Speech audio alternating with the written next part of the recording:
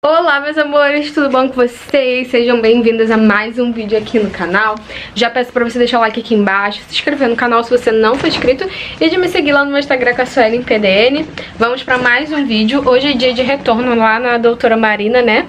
Então, Maria Alice vai lá na tia Marina E aí eu tenho que arrumar a...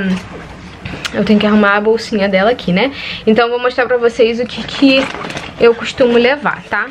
Ó, eu costumo levar aqui duas fraldinhas. Ela tá usando RN+, só que a RN fica perfeita nela, mas acabou. E aí tinha RN+, aqui, aí a gente foi usando RN+, mesmo. Aí leva uma pomadinha dessa aqui, que é de próprio tipo de bolsa mesmo, que é da Bepantol até agora. É a melhor que eu usei, gente. Nem a... Qual é o nome daquela? Aquela cara famosa, não, não é da Granada. É aquela cara famosa, Desitin. Nem a Desitinha eu acho melhor do que a Bepantol, eu amo.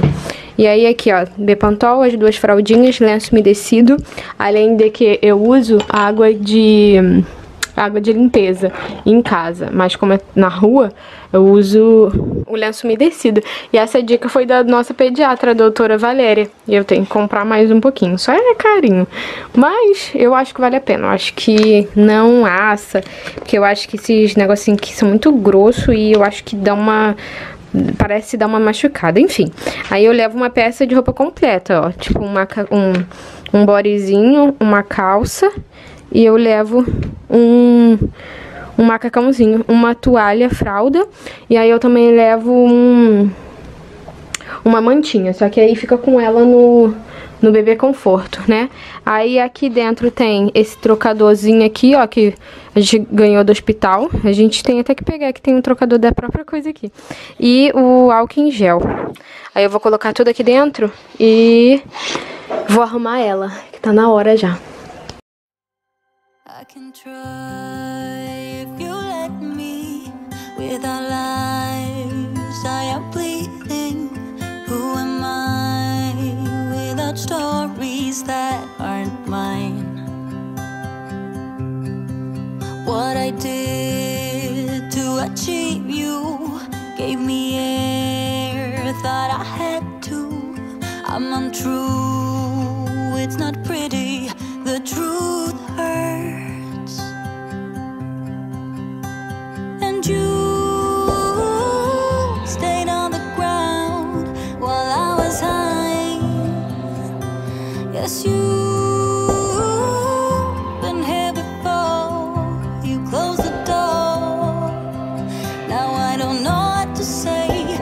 Expect you to leave.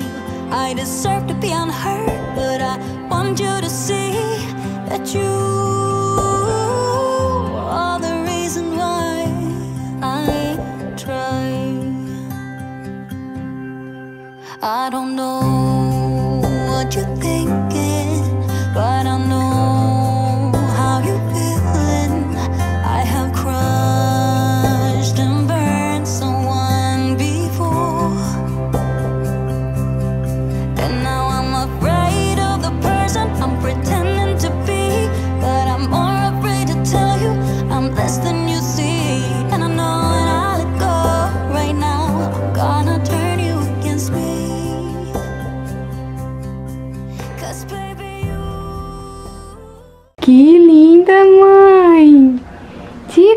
mais linda da mãe! É, meu amor! Ainda é grandinha essa roupinha nela. Agora eu vou colocar meu tênis pra gente poder ir, que já tá na hora, né? Já. Bora.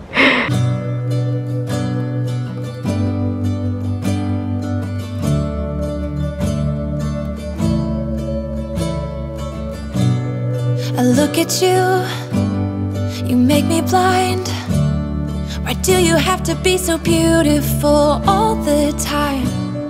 I know I can't be with you. It's killing me to see you with someone else. What to do? Now I'm in the corner and watching you smile Watching you smile. And I can't get over you. I'm losing my mind All of the things that I wish I could tell you. Every time when you're passing me by I fall in love. There's something about you I wish you were mine.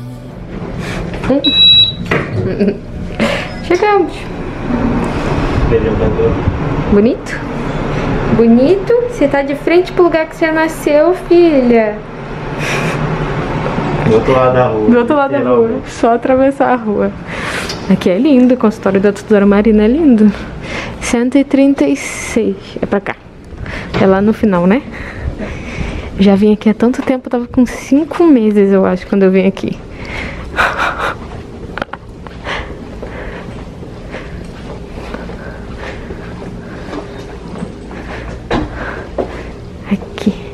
da areia.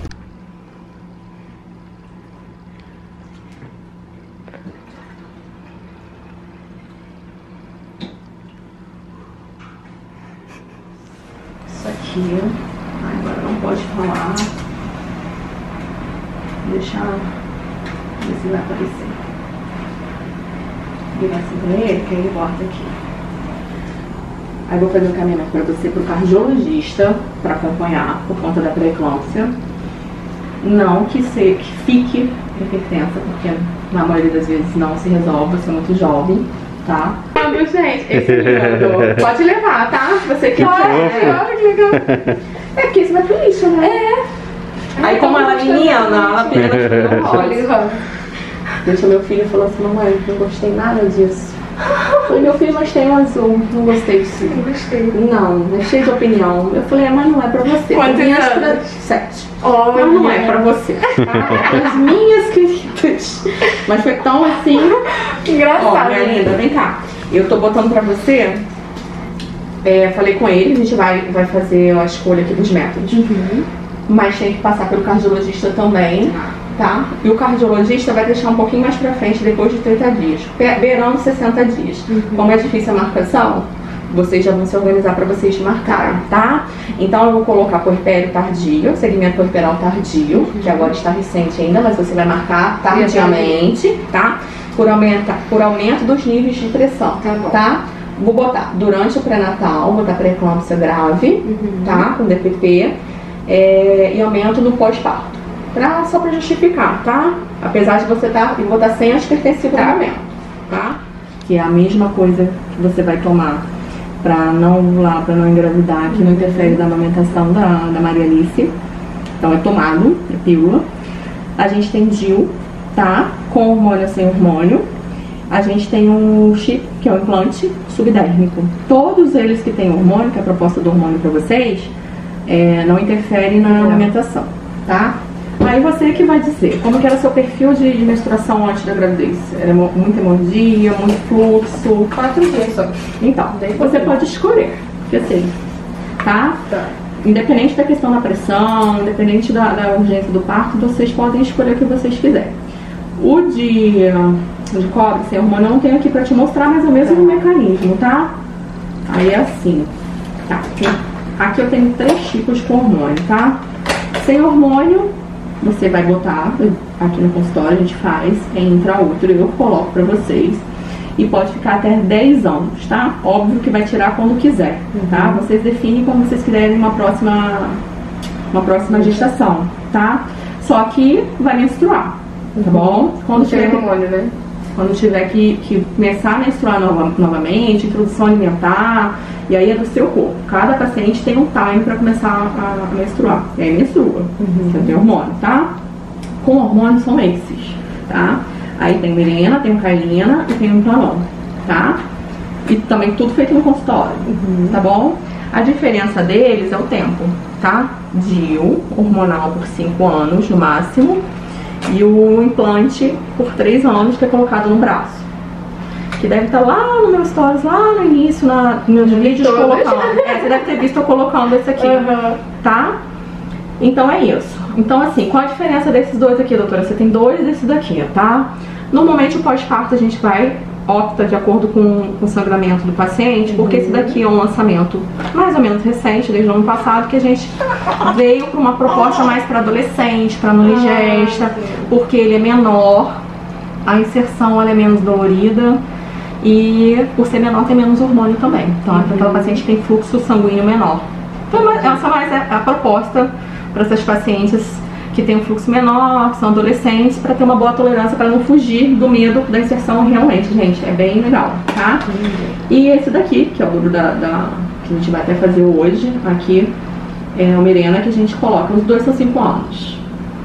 Então, você pode optar por hormônio, sem hormônio, o Implanon, que é no braço. Uh, um placebo, tá? Corzinha todo deles, a branquinha, tá? É, após 45 dias. Então a gente tem que fazer a conta se for fazer, né? Daqui uns 25 Daqui a dias. É, 25 dias. E esse é qualquer momento, tá? Tá. Esse é qualquer momento que a gente for fazer. Tá certo? Certo? Certo. Então, me dá uma explicação do que aconteceu naquele dia. Que até hoje eu tô assim, pensativa. É, aquele dia foi Deus, né? Né? Gente, o que aconteceu? Um descolamento prematuro de placenta. Sem explicação. que é a maior urgência? Não. Na maioria das vezes tem um, um indicador que é a pressão. A maioria das vezes é, a placenta ela de, de escola, né? E um dos principais fatores, né, das causas é o aumento da pressão. E não precisa ser aquela pressão 20, aquela pressão 19, não. Era tá? aquela 13, 14. É, você chegou com uma 15, 16, não É, eu foi? cheguei a 16, aí depois 14. É, entendeu? Então, assim, é um indicativo, tá? Não necessariamente todo mundo que faz pressão alta vai ter Vai descolamento de placenta, tá? É, mais ou menos, só pra vocês entenderem, eu acho que é de 5 a 6 a- em cada mil. Nossa. É muito, é muito, é muito difícil, tá? E aí você me perguntou, lembra que você me perguntou se na ultra da véspera eu conseguia Foi, ver. eu, eu fiz dia 18, né? Então, se tivesse um descolamento na véspera, na terça-feira, não ia ter radialite dia. aqui. Porque ela é uma urgência. É tudo muito rápido, é questão de minutos mesmo, tá? A maioria das vezes, vou falar pra você, ó, posso estar até errada, mas a maioria das vezes, uma porcentagem bem alta, mais de 50%, 60% a 70%, cursa com fatalidade mesmo, com óbito. Gente. Porque quando é que a gente vê numa emergência, a gente que trabalha em emergência pública, que chega paciente, né? Emergência ali você tava com suporte, logo eu cheguei É. e a gente ficou acompanhando, né? Não é o seu caso. Mas normalmente chega sem o BCF, sem a ausculta. E aí quando a gente vai colocar na sala para operar, a gente óbvio que tem alguns sinais, Uhum. né? A maioria das vezes é um sangramento transvaginal, é uma hemorragia, e a gente já sabe, não tá ouvindo o coração, tem uma hipertonia do, do útero, barriga bem dura, sabe que é um DPT. Que o diagnóstico é clínico, são sinais e sintomas. Então você tem que juntar vários, vários sin- sinais e sintomas, junto com o histórico da, da paciente, né? Chegou com uma pressão de C6, né? Uhum. Ou tá tomando remédio de pressão, mas está controlada, e bota na sala sem cirúrgico e opera. E aí, normalmente, na maioria das vezes, cursa, cursa com fatalidade mesmo, tá? Que é com âmbito fetal, uma esterectomia é, da, da mãe, né? E ali que aconteceu? Você começou com contrações, né? Uma atrás da outra. E aí quando eu falei que as contrações estavam realmente como se fosse final, Uhum. é, porque você aguentou muito mesmo. Porque normalmente são três contrações a cinco até você iniciar a fase ativa, na fase ativa do trabalho de parto. Você estaria com 5, 6 centímetros. E no final, um período expulsivo que eu falei com você, quando você já estivesse com 10 centímetros de dilatação, ficam mais ou menos umas 6 contrações, tá? De 60 é rápido, tá? Mas você já tava com aquilo lá no início e com 3 centímetros de dilatação. E né? quando aconteceu aquilo, o, o coágulo já tava na barriga É, dela ou foi na hora que. Não, aquilo ali pode ter sido minutos antes da gente abrir a barriguinha dela. Se a gente demorasse mais, talvez, né? A placenta ia se descolar completamente e não chega mais oxigênio pra, pra Maria Alice. Tá? Mas aquela contração que começa, a gente fala taxistolia, se ela não melhora, né?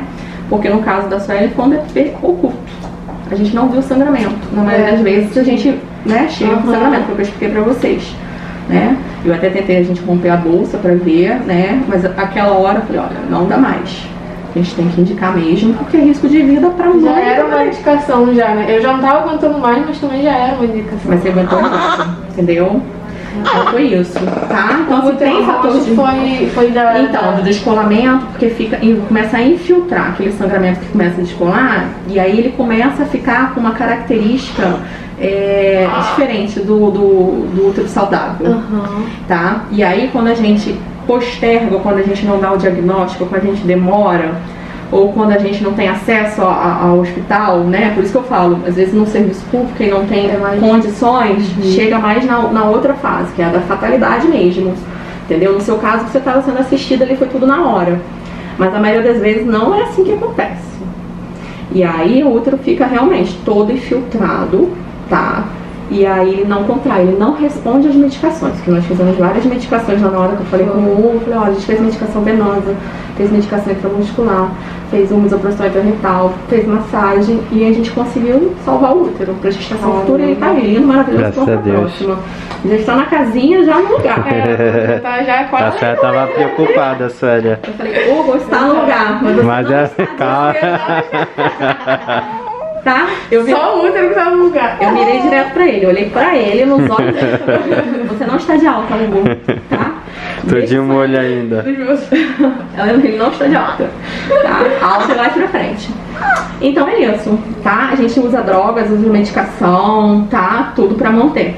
Então, vou falar mais uma vez com vocês. Se fosse mais um pouquinho, ou sei lá, se você atrasasse vindo de outro lugar, Eu ou se editei vídeo. atrasasse. Eu editei vídeo lá. É. Meu Deus do céu. É. Então assim, Só tudo foi na hora certa. É. Mas mais uma vez, na maioria das vezes isso não acontece. É fatalidade mesmo, infelizmente. Assim, o obstetra que tem um DPP, que tem, normalmente não tem uma história boa pra contar. Sempre tem um, um- um final não muito legal, um desfecho muito ruim, seja materno ou seja fetal. Tá? Que a gente trabalha com urgência e é uma das maiores urgências da obstetrícia, porque não dá tempo. Não dá tempo, Foi o entendeu? culto, né? Não dava nem pra saber. E também teve isso aí. Fez o sangramento. né? Então, aí a gente começa a observar que o útero ele começa a ficar muito pétreo, né? Fica com aquela consistência bem durinha. Fala assim, olha, tem um... Aí junta tudo, né? Seu Aham. história, com o aumento da pressão. No dia, no dia anterior você me mandou o resultado da proteína, Foi. foi, positivo. Eu falei, ó, Suelen, é pré-eclâmpsia. Uhum. O que mais? Dor, né? Não teve o sangramento, mas o sang- sangramento nem sempre ele acontece. No seu caso, foi até, mas É. é, estava acontecendo dentro do útero, ele não exteriorizou. E ela quase voltou pra casa. A sorte que a pressão estava alta, né? Deus Aí chegou lá, né? A É, médica aí, tava com um hora que centímetro. Lá, que eu tava conversando com vocês, é, até falei com a Suelen, né? Eu já saí de casa e falei assim, olha, não gostei muito desse exame da cardio, né? E já falando aquela palavra, profetizando a palavra DPP, que a gente fala assim, olha, isso aí evolui com DPP. Então por isso que a gente teve que ficar ali do lado. Eu fiquei do lado dela. Foi. E, e aí a gente fazendo essa, essa, esses exames, a gente começa a observar as alterações. Então assim, tem alguma coisa que não está normal, e o filho do obstetra, a experiência também, isso que a gente foi. Assim, eu conversei com ele, olha, não dá mais agora. Agora quem está indicando sou eu, porque a responsabilidade é minha, entendeu? Uma coisa é você tá com 8, 9 centímetros, tendo aquela contração, dá para bancar. sim. Sim, totalmente diferente. Agora Tava 2 para 3 Chegando no centímetros. 3 ainda. Chegando. Chegando no 3. Assim, muito boa vontade.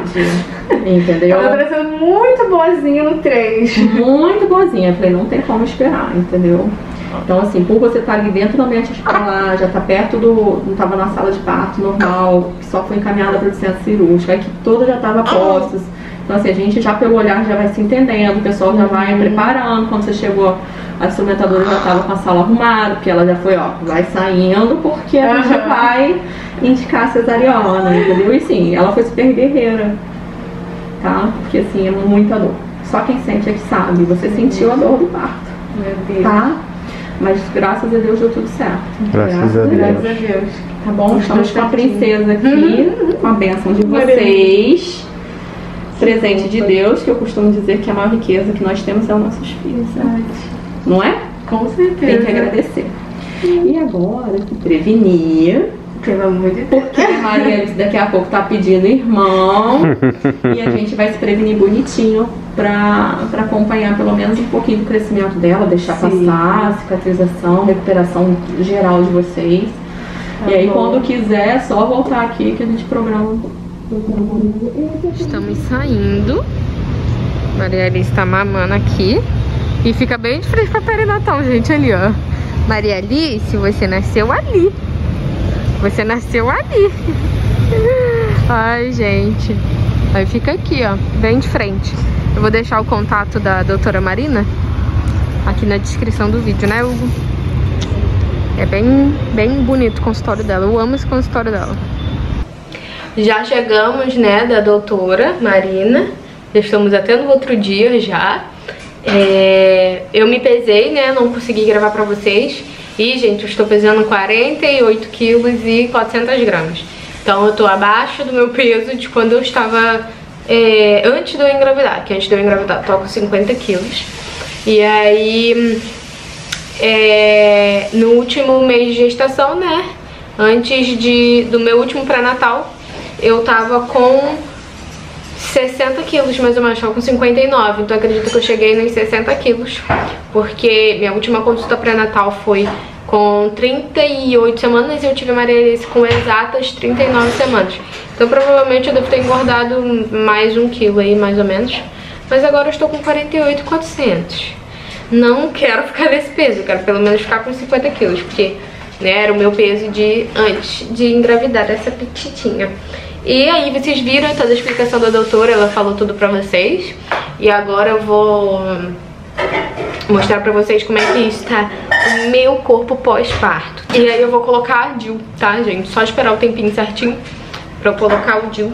E aí quando a gente quiser engravidar de novo, a gente retira. E aí vai ser a doutora Marina novamente.